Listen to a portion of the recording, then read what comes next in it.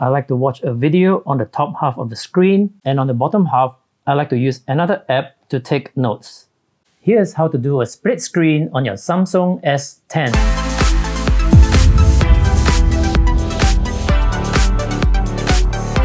There is an even better way to multitask on the Samsung S10 using pop-up screens. I will cover that in the next video. For now, let's talk about split screen.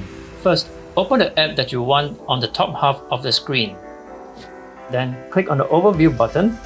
In the multitask selection, click on the icon on top of the task. Select open in split screen view. Next, choose an app to appear at the bottom half of the screen. So right now, I have YouTube on the top half of the split screen and Google Chrome on the bottom half. Notice the blue line in the middle.